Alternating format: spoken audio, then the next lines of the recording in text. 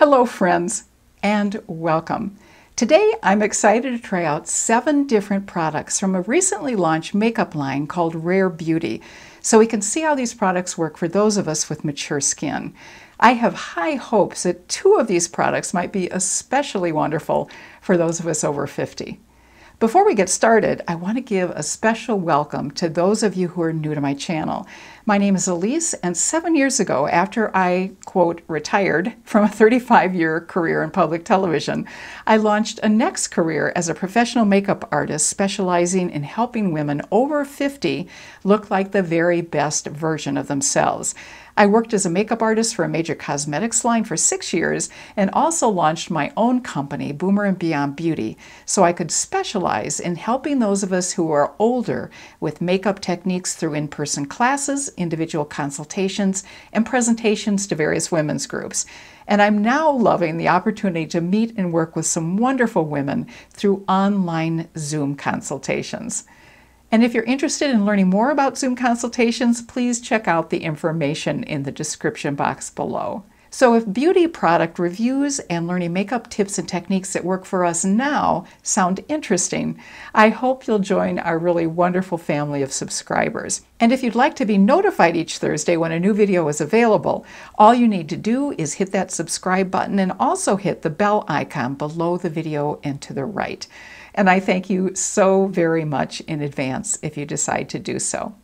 Now, let's focus on today's topic a new line of makeup that I'll be trying out to see how it works on mature skin.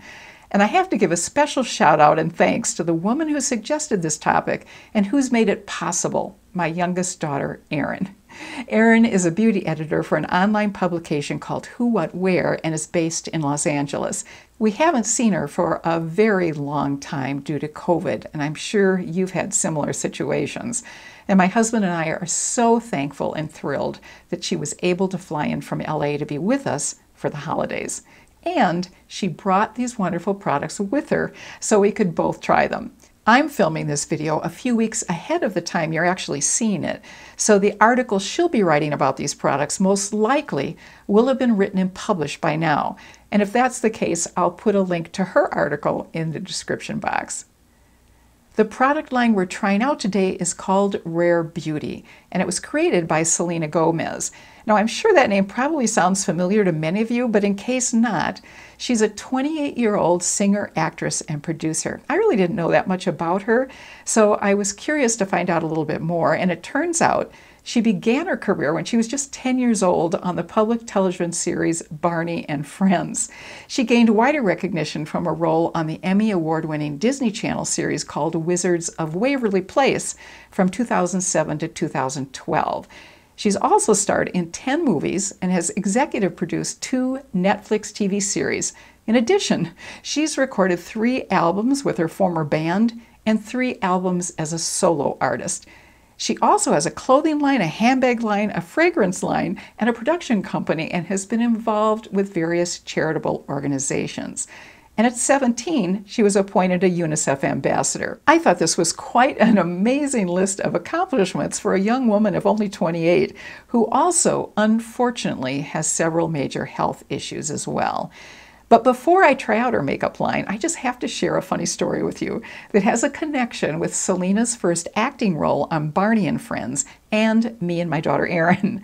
Do you all remember Barney, by the way, the big purple dinosaur that was popular with kids in the 90s? Well, the show was a huge hit on public television, and the PBS station where I worked was one of several stations that was able to bring Barney into our studios for a special event live performance. Since staff members were able to bring their children, I was thrilled that I was able to bring Erin down to the station.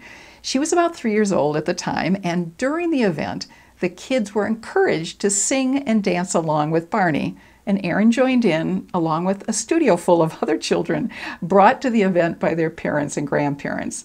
But I will never forget that day because of something else that happened as we were driving home. Erin was in a car seat in the back seat of the car, and was so excited about the experience of seeing Barney that she threw up. and I'm sure she's absolutely thrilled that I've shared this story with you today. Selena Gomez's Rare Beauty makeup line is carried by Sephora and includes 14 different products, and I'll be trying seven of them today. There's a dual-ended retractable eyebrow pencil in this line, which has a pencil on one end and brow gel on the other end, which costs $22. But the one, unfortunately, that Erin was sent was too dark for both of us. So I went ahead and applied my own eyebrow products and eye primer. And I'm actually really sorry we don't have the eyebrow product to show you because I love the idea of combining a retractable pencil and gel in one dual-ended product. And I was really delighted to see that the eyebrow pencil gel combination comes in eight colors including gray. Now, gray is not often included in many makeup lines, so big thanks to Selena for including options for those of us over 50 in her line. I also went ahead and applied the Rare Beauty foundation and concealer earlier because I wanted to have it on for a while before filming to see how it wore over a period of time and to see how it worked with other makeup. The packaging is really lovely, as you can see. This is such distinctive and unusual and interesting looking packaging. The foundation costs $29 and is described as medium to full coverage, weightless, and a product that melts into the skin. And it comes in 48 shades, so there's a wonderful range of color options. But the sample bottles Erin received, unfortunately, were both for warm undertones. So the colors that I put on were not quite right for my skin undertone.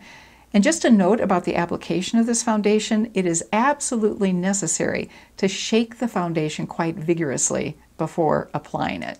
Unfortunately, however, immediately after I applied the foundation, it really accentuated texture and pores on my skin. So it was clear right from the get-go that it wasn't going to be working on my mature skin. So I did take it off and put on another foundation. The concealer also comes in 48 shades, is $19, and is described as being lightweight, hydrating, and brightening with a radiant finish. Because of the issues I had with the foundation, I decided not to try the concealer.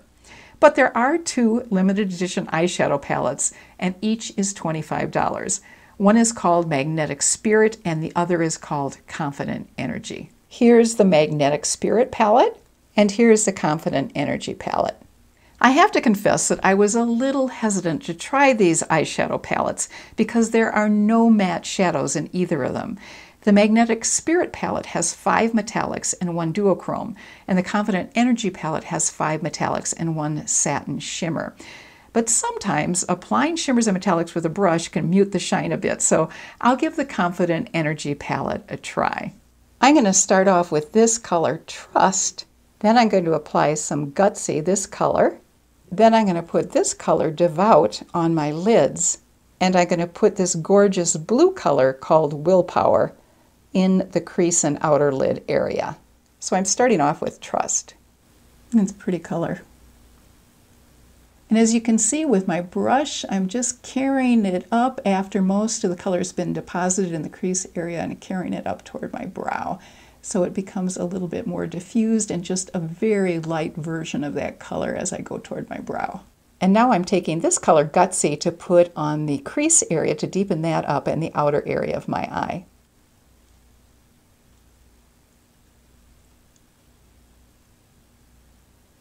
And actually that came off stronger on the brush than I thought it was going to, so I'm going to do a little bit of blending here. Now I'm going to take this silver color called Devout and put that on my lid area. And next I'm taking this blue called Willpower and I'm going to put that in the outer area of the crease and the outer area of my eye. And I'm just going to stamp a little bit of it on. And actually I'm rather pleasantly surprised by how easily these apply. And now I'm going to go in with this deeper color Gutsy again to build that up a little bit more. I'm going to go ahead and use my Laura Geller highlighter in French Vanilla, and I'm going to put this over the lid too. Also going to put it under the arch of my brow on the inner corner of my eye as well. I'm going to blend these in a little bit. Again, I'm starting off with Trust just in the crease area of this eye. This has more of a satin finish, which really makes it apply easily. I'm going in with Gutsy, and then I'll follow that up with the beautiful blue Willpower in the crease area and the outer area of my eye. I kind of lost those colors on this eye, so I'm going to just go back and add a little bit more on this eye. Now I almost like just the look of this by itself, but I'm going to go ahead and add the deeper color, Gutsy, and then add a little bit of that beautiful blue, and then do some blending. I go back in with that lightest color. So again, I kind of lost it by putting the blue in there. Now I have to admit that this wouldn't be a palette I would go to on a regular basis. There certainly are some beautiful colors in here, but the metallics are just not usually the way I would want to go. Occasionally for a pop or for a special occasion, but on a day-to-day basis, my preference would be satin finish and mattes with maybe just a little bit of metallic from time to time. But there's certainly gorgeous colors in this palette. I must say something that is really nice is that I don't seem to be getting any fallout with this palette. I've gone ahead and added mascara and eyeliner to the eyes so we have a final eye look. And next I'm going to go ahead and try the blush. The blush is one of the two products I was really most excited about because it's a liquid, which I think works very well for those of us with mature skin, and the description indicates that it's also long lasting. And as we all know, blush so often disappears pretty quickly. The product description indicates that the blushes are infused with long-lasting color pigments for all-day wear, and they can be layered on over liquid or powder without disturbing the makeup underneath. The blush comes in eight shades and it costs $20. And a little goes a very long way, as you'll see. These are the colors I have, and I'll be applying the shade Happy, which is a lovely pink. This is the color Love. This is the color Joy, which is a beautiful coral. And this is the color Happy, which I'll be using. It has a large doe foot applicator, as you can see, and I'm going to apply just a little bit on the back of my hand. And that was just one swipe, so you can see how very pigmented that is. So I'm just going to take my finger and I'm going to dab it. Whoa! that really comes off quite heavy. That's a beautiful color and it does blend in really nicely. I'm also going to take this brush and I'm going to use it just to blend it a little bit more. Now I'm going to go ahead and apply the liquid luminizer, which is the second product that I was really looking forward to trying since it's also a liquid and has a beautiful soft glow. This comes in eight shades and I'm going to be applying the one called Mesmerize, which is a light pink. It's described as being a silky liquid which creates a dewy, buildable glow and it costs $22. And once again, a little goes a very long way, so this bottle would last a very long time. I'm going to go ahead and dot it on my fingers and then use a brush to blend it in. This is the other color I have, which is called Transcend, more of a rose gold. And this is the color I'll be using called Mesmerize. Once again, it has a large doe foot applicator. I'm just taking a tiny bit and putting it on my finger, and I'm just going to dab it right along the top edge of my cheekbone. This really glides on nicely, and I'm going to use what's left on the other side. And I'm going to take the brush that I used for the blush and blend all of this together.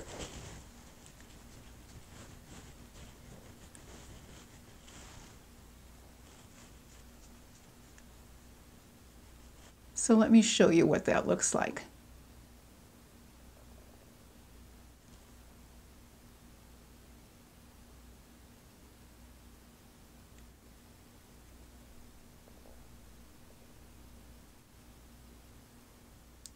And finally, lipstick. I'm first going to apply my concealer around my lips and then my L'Oreal Age Perfect Lip Liner and then the Rare Beauty Dewy Lip Balm in the color Compliment, which is a deep plum shade. And to lighten that shade just a little bit and to brighten it, I'm going to be applying my liquid lip gloss over it. The lip balm is described as hydrating with dewy blendable color and it comes in seven different shades. These are the colors that I have. This is the color called Support. And here's what that color looks like. This is the color Blessed. That's much more of a coral color, as you can see. And this lip balm has some especially interesting packaging. It's flat on one side, which is really brilliant because that way, when you put it down on a table or your vanity, it doesn't roll off. I don't know how easy this is to see, but it's round on one side and then it's flat on the other side. So I already have concealer around the edge of my lips and now I'm going to put on my lip liner. I'm going to be applying the Age Perfect Lip Liner in Bold Orchid.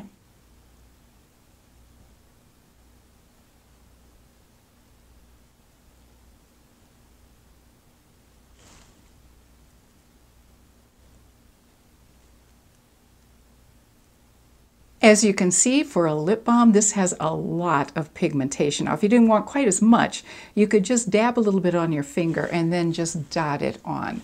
But I wanted to go for a heavier application.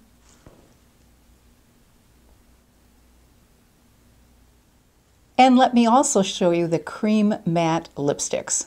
This one is called Transform and this one is called Hero, and I'll swatch them on the back of my hand for you. Transform is at the top and Hero is underneath it. So here are my thoughts on these products. First, the foundation and the concealer. As I mentioned earlier, immediately after applying the foundation before filming, it highlighted the texture of my skin and it also seemed to have a somewhat oily feel to it. So it may not be the foundation that would work well for most of us with mature skin.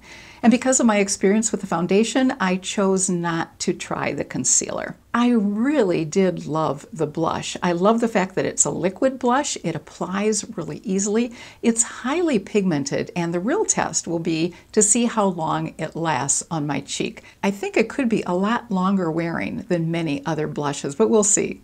And the luminizer, I feel the same way. Again, it's a liquid. I loved the colors that were available. The one I have especially mesmerized was perfect for my skin tone, and it also applied so easily. And of course, you can always build it up to get even more of a glow or just apply a tiny bit as I did just to get a nice soft glow. I also tried the Lip Souffle Matte Lip Cream a little bit earlier. I already showed you the colors and it went on very smoothly and felt really nice on the lips. It didn't feel the least bit dry and it also did dry down to a really nice matte finish. It's probably not as long lasting as other mattes due to the creamy texture it has, but it felt great and applied beautifully. I hope you enjoyed this review of the Rare Beauty product line and found it helpful. And if so, I'd greatly appreciate it if you'd give this video a thumbs up. And if you've tried any products from this Rare Beauty makeup line, I hope you'll absolutely include some of your thoughts on the products you've tried in the comments section below. I so appreciate your taking time out of your day to join me, and I hope you stay happy and healthy and have an absolutely fabulous rest of your day. Take care.